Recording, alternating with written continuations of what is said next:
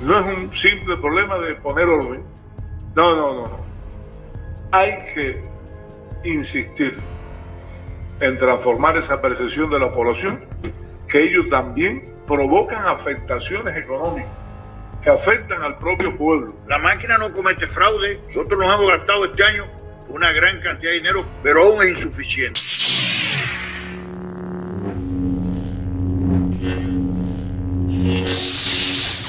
Estas son las cosas que me, mira, que me encienden la adrenalina, este tipo de reportaje. La reunión anual de trabajo del Instituto Nacional de Ordenamiento Territorial y Urbanismo. Échate esto. Ordenamiento territorial y urbanismo. Cuando tú en Cuba, apréndanse esto, cuando ustedes escuchen la palabra ordenamiento, recojan y váyanse, recojan y váyanse, porque cuando esta gente dice que van a ordenar, tú sabes lo que significa. Al balance asistieron el primer secretario del Comité Central del Partido y presidente de nuestra República, Miguel Díaz Canel Bermúdez, el primer ministro Manuel Marrero Cruz, la viceprimera ministra Inés María Chapman Wow. ¿De dónde sacan dinero para tanta reunión? La norma es una reunión por día. El enfrentamiento a las violaciones urbanísticas y velar por el orden, la disciplina y el control en el cumplimiento de los planes de ordenamiento territorial instaron las máximas autoridades del país durante la reunión anual de trabajo del año 2023 del Instituto Nacional de Ordenamiento Territorial y Urbanismo, INOTU. INOTU, ¿con qué nueva vendrán estos delincuentes? Con la ayuda de todos, crear la percepción en la población que las ilegalidades en materia de ordenamiento. Ya, ya, ya, ya. Las ilegalidades. ¿Sabe que eso, todas las culpas las paga el pueblo? Por ahí viene. No es un simple problema de poner orden. No, no, no, no. Hay que insistir en transformar esa percepción de la población, que ellos también provocan afectaciones económicas que afectan al propio pueblo. No, es que este lo tengo que matar ya.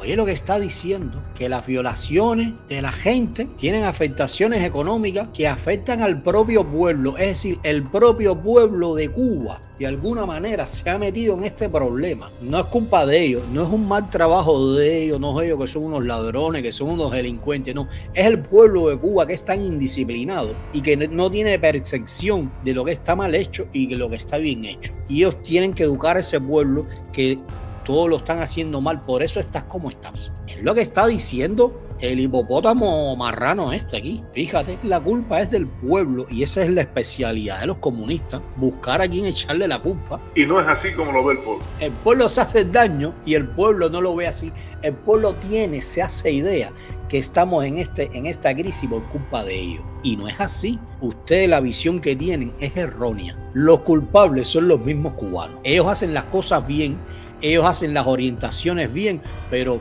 digamos que nosotros las ejecutamos de manera errónea. Dime algo. Yo te digo que si esto no es burlarse del pueblo, es que la gente no ve esto, vaya. Esto nosotros lo vemos más que la gente. ¿Tú crees que la gente en Cuba que está haciendo la cola del gas, que está haciendo la cola de las papas, que está haciendo la cola de la gasolina, que está haciendo la cola de los cigarros, va a tener tiempo para ver el noticiero? A lo mejor si hubiera cola, para ver el noticiero, la gente en Cuba viera el noticiero, pero es que no hay cola porque no hay nadie, es una cosa que nadie la compra ya. Esto es para venderlo al mundo. Ministro Manuel Marrero Cruz convocó a los expertos a actuar con inmediatez y prontitud frente a las ilegalidades y contra la morosidad de los trámites que tanto incomodan a la población. Igualmente, el premier cubano llamó a las fuerzas del INOTU y sus delegaciones a velar por el fortalecimiento del cuerpo de inspección y de la gestión del suelo. Nos está faltando prontitud a la hora de actuar. Y recuerden que eso lo hemos muchas veces. Si usted va y pasa por un lugar y ve que frente a esa casita ahí no se puede construir nada, ya hay una lomita de tierra, hay una lomita de ladrillo, eso, como dicen en la tierra nuestra, verde con punta guanábana. Ahí van a hacer algo, ahí van a construir. ¿Por qué esperamos que empiecen a levantar las paredes y cuando llegamos ya está a nivel de cerramiento? Ya, y ya una parte, un cuartico, ya le pusieron un techito y están viviendo para entonces nosotros actuar. Oye, así mismo es cubano. Cuando tú estés en un lugar y tú veas que vengan unos bulldozers a planes y empiecen a llegar gente, no dejes que construyan el hotel. Cuando tú veas eso, que veas movimiento de construcción, no es que van a hacer casa para ti, no, para ti estos delincuentes nunca van a hacer casa. Si van a hacer una casa, son mansiones para ellos. No dejes que levanten más hoteles. Cuando tú veas que, levanten cuatro ladrillos por la madrugada, tú ven y llévate los ladrillos. Mira lo que está diciendo este. No construyen casa. Hay un ministerio de la construcción que yo no sé para qué lo hay, que es para, tú sabes, para, para justificar el dinero que se roban, porque es que no construyen nada.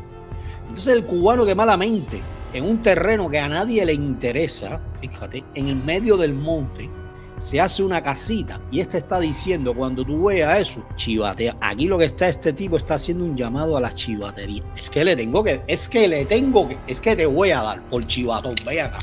Ya lo esta gente se pasa. Es que ni dan ni dicen dónde hay. Entonces tú haces una casa en medio del monte y ellos se gastan, hacen un derroche de policía, de camiones, de bulldozers, no hacen ese movimiento para, mira, para construir edificios, no, no, no. Ellos hacen ese movimiento para ir a derrumbarte un bohío que tú hiciste en el medio del monte. Y eso es lo que está diciendo este aquí, que mientras más rápido, mejor, porque entonces después se le crean todas estas ciudadelas. Claro que la gente hace esto porque es que ustedes no construyen, ni construyen, ni dejan construir. Y ahora para cómo está haciendo un llamado al desalojo isofacto. Es decir, cuando tú veas que abren un hueco, ciérraselo. Cuando veas un ladrillo, llama a la policía. Es lo mismo cubano. Cuando tú veas que empiecen a acercar en el vedado, en Miramar algo, para un hotel, no los dejes. Hay que hacerle lo mismo a estos delincuentes. Qué tipo más, más cínico, caballero. Es que, es que, es que, mira, ellos todos los días se superan un poquitico. Cuando tú piensas que ya lo dieron todo, ellos se superan. La maldad de ellos es que no tiene tope. No, no, no, no, no tiene tope para nada. En el intercambio, el primer secretario del Comité Central del Partido y presidente cubano, Miguel Díaz. Ahora yo quisiera saber, yo quisiera saber qué están anotando ellas ahí. Yo quisiera saber qué tanta mierda, qué tanta tinta gastan esta gente escribiendo porquería. Mira, manillita de oro y bolsito de changó. Es que son comunistas, brujeros. Esta gente son de todo. Esta gente son de todo. Los verdaderos inmorales. Yo quisiera saber qué tanta basura escribe ella en la agendita. Eso es para hacerse la que está tomando nota. Miguel Díaz Canel Bermúdez se interesó por la informatización y automatización de los procesos. Tremenda perra, Nari. Claro que tiene que dar los besos de lado, Pipo. Mira para eso. si se echa un poquitico más para adelante, le mira, mira, mira. Si se echa un poquitico más para adelante, él le mete la nariz al micrófono. Déjame seguir con esto aquí a ver. La máquina no pide dinero. Ya, primero te traen al otro que te dice las cosas más lindas y ahora te traen, tú sabes, militar. Este es el que implanta el terror. Y ya mira, desde que te dijo la primera palabra, desde que dijo la primera palabra, mira la primera palabra que te habló, de dinero, cómo le gusta el dinero.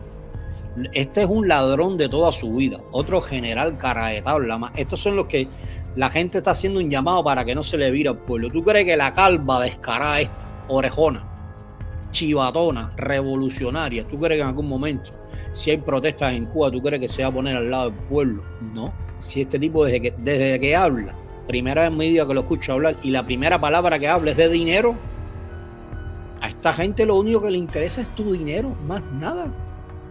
Dice, pero para hoteles vacíos serán, claro, pero si esos hoteles lo están utilizando es una manera de lavar dinero.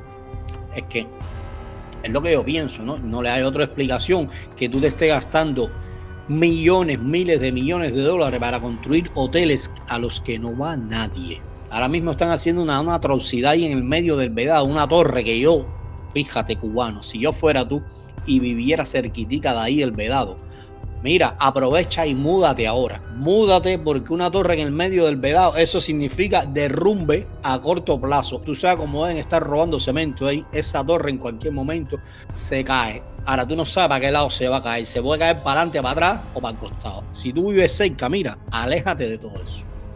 Deja ver qué dice el general descarado este. La máquina no comete fraude.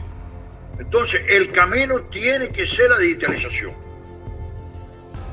Ustedes saben que en eso estamos trabajando, que estamos insistiendo en eso.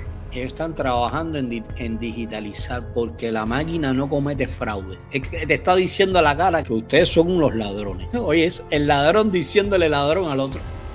Nosotros nos hemos gastado este año una gran cantidad de dinero. ¿Te das cuenta de lo que te digo? Cómo ellos hablan, se atribuyen, se roban los méritos. Nosotros nos hemos gastado este año una gran cantidad de dinero. Oye, tú, socabo, es que le voy a dar. No, este le voy a dar.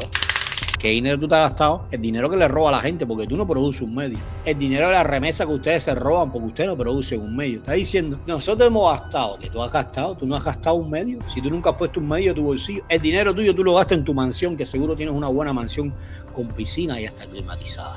Una gran cantidad de dinero comprando equipamiento, pero aún es insuficiente. Un tema no resuelto. Por Dios, la vida. Por Dios, ustedes escucharon lo que ha dicho este hombre. Eso después lo dejan ahí para cuando, si hay que justificar algo, dicen, no, no, pero si eso lo dijo el general, míralo aquí. Nosotros hemos gastado muchísimo dinero invirtiendo en equipo, pero no es suficiente. Es decir, que necesitan más de tu dinero, necesitan más dinero para gastar. No, no, no. Lo de esta gente de, de verdad que no tiene nombre. Bueno, de momento, tengo este videito acá. Miren para esto, señor. Ya estos son las colas normal, porque es tan normal hacer una colita para comprar el gas licuado en Cuba. Acuérdate que el gas este mes no, pero posiblemente el próximo mes le van a subir el precio, porque ellos el paquetazo lo están aplicando por niveles, por escalones, para que la gente no se lo sienta. Es como, te voy a meter el dedo pero no te lo voy a meter completo.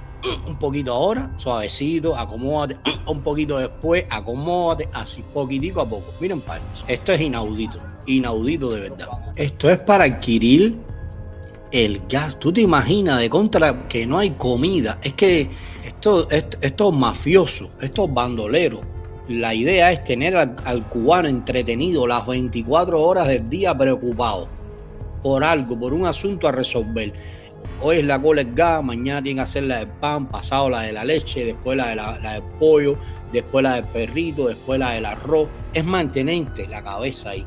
Es ahí el cubano está pensando en, en el gas. Cuando ya tiene el gas, dice, bueno, ahora tengo que ver qué voy a cocinar con este gas. Aquí tú nunca vas a ver a ningún dirigente, aquí tú nunca vas a ver a ninguno del séquito de Díaz Canel, ni al primer secretario del partido, ni a Torres Iría, ni a Roberto Morales Ojeda. Tú esa gente nunca, pero nunca los vas a ver comprando absolutamente nada. Esa gente tiene sus tiendas privadas y le llevan las cosas a las casas. Fíjate tú eh, los privilegios que tiene ser delincuente en Cuba.